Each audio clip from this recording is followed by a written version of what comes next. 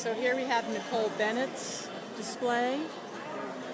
She's got a whole fish tank full of all kinds of fish, including, uh, what do you call that, jellyfish.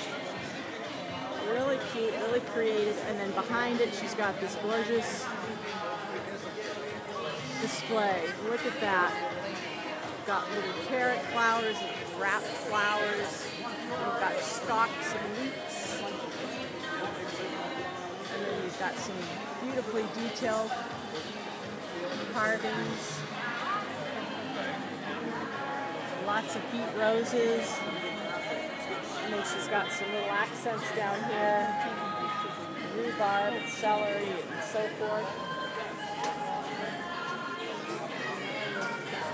This is a big one.